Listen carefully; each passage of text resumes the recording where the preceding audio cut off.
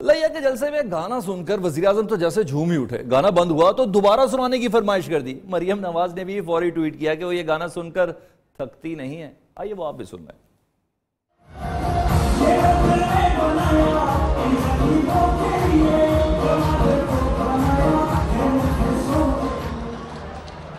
वाह वाह वाह, थोड़ा सा सुनाओ यार, थोड़ा सा सुनाओ।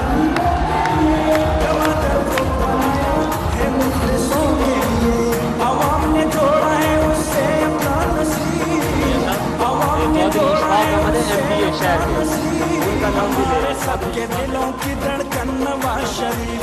हमारे सबके दिलों की धड़कन